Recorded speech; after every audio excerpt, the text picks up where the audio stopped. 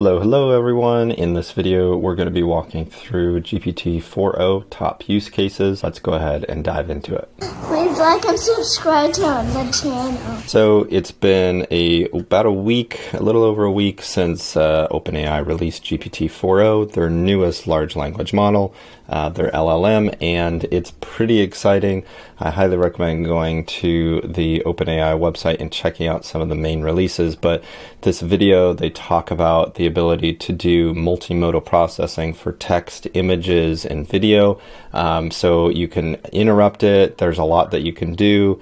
Uh, in this video here, uh, we have two of the GPT-4o models talking back and forth with each other. There's, um, yeah, so many different things. They even sing with each other. Uh, this one, it's helping this uh, guy here do an interview. There's a lot of, yeah, really cool, impressive things. Uh, and also they give like different examples of what this can do, uh, even like the 3D object synthesis. Uh, you can give it this input here and it will output uh, a 3D model. And compared to like different models, GPT-4o is actually really high performing. Uh, you can see in some categories, uh, Claude Opus, uh, Claude 3 Opus is a little bit outperforming. Uh, but for the majority of use cases or areas here in terms of text, you've got uh, GPT-4o um, coming out on top. You can also look at the different comparisons between the audio side of things, vid- uh, the video, vision, uh, understanding evaluations as well. So there's quite a bit here. Again, with GPT-4o, I've been testing it out recently and have been really impressed.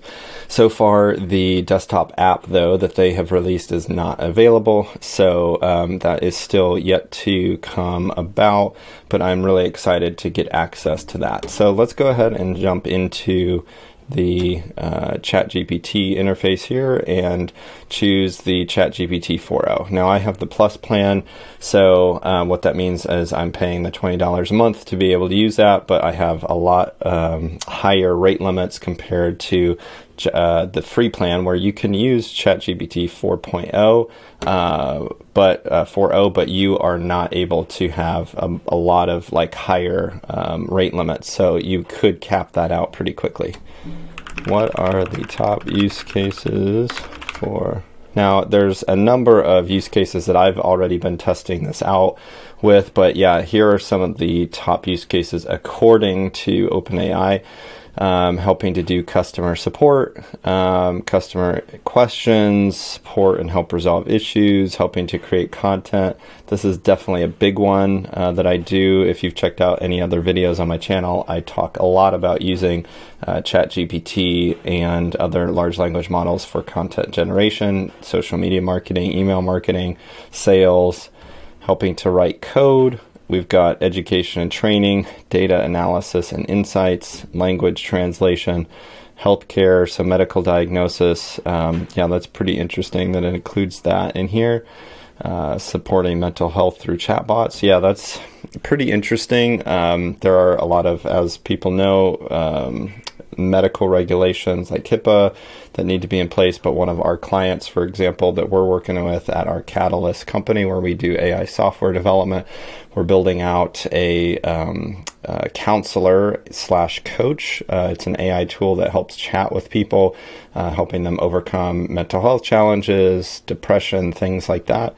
So that is a very important use case here where you can use um, AI there legal and compliance, um, law firms, and just the law industry in general can, has a huge opportunity to use um, the, the Chat GPT 4o in different use cases, especially if you have more of a custom backend and can have like memory and secure database of conversations. There's a lot here on, yeah, just legal help that AI tools can provide, helping to create uh, scripts, videos, images, artwork. Yeah, that's uh, definitely really cool there. And uh, yeah, we'll probably try that here in a few minutes. And then personal assistance, helping to manage schedules, reminders, personal tasks, recommendations for activities, travel, and purchases. I actually do use the um, uh, OpenAI app on my phone. Um, for like my wife and my kids, we like to go on walks or go on trails around here. So sometimes I'll ask it like, "Hey, here's what we're thinking of doing for like a trail. What do you recommend in our local area?" And it will uh, give us that information marketing and sales. Again, this is a big area I use. Um, I've been using GPT 4o now for marketing campaigns, helping to analyze and condense like notes from meetings with my team members and everything there. Uh, gaming, it can help create like a dialogue or stories for video games. I have been testing it out there one of the uh, projects that we um, I'm working on now. Um, we uh, do a lot of NFT artwork, and we do a lot of generative um, artwork, uh, generative AI artwork here. So like this artwork here of one of our characters and some of the storylines. Yeah, we use uh, generative AI and G, uh, GPT-4o for some of that. Some of that we use Midjourney.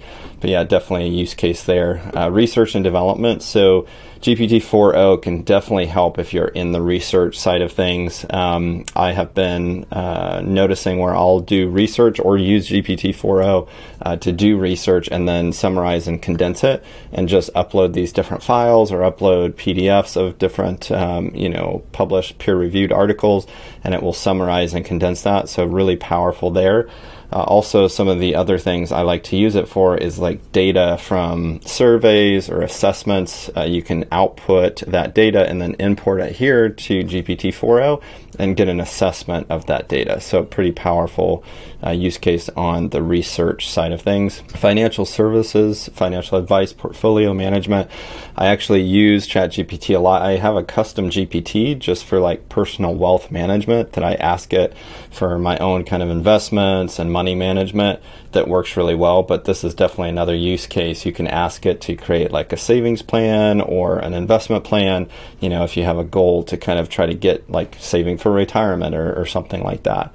Um, human resources, um, you know, in terms of screening resumes, um, you know, giving summaries on candidates, uh, especially if you're on the interview uh, interviewee side and like applying to jobs, you can use GPT-4o to help you like improve your resume or you know do those kinds of things. So there are a lot of use cases here. So I wanted to maybe create um, a simple one here on like how I use this for a few of these use cases, but like I do a lot of social media posts. So um, can you create a social media quotes from Zig Ziglar in the style Jim Edwards copywriting style?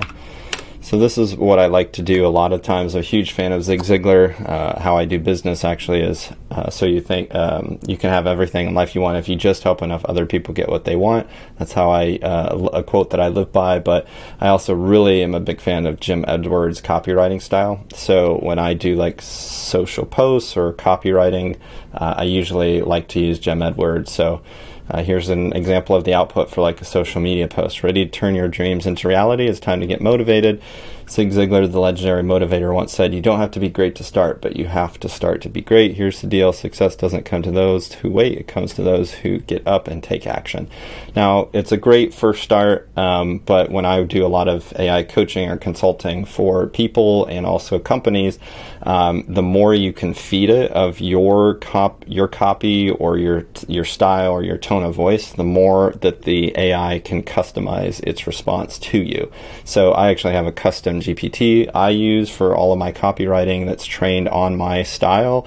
Uh, ha- it has hundreds of scripts of, from videos and posts that I've done, and it pulls from that my tone and style of how I do these posts. So just to kind of give you an example of how I do that.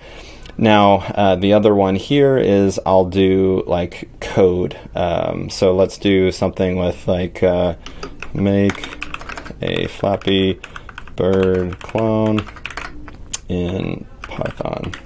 Creating the code uh, using Pygame, which is the Pygame library, in Python, and it says you will need to provide bird and pipe images in the directory as the script. This is a way to help generate code. Now, I do a lot of software development as well, um, and I have been noticing GPT-4o has been especially good at like helping me to solve bugs.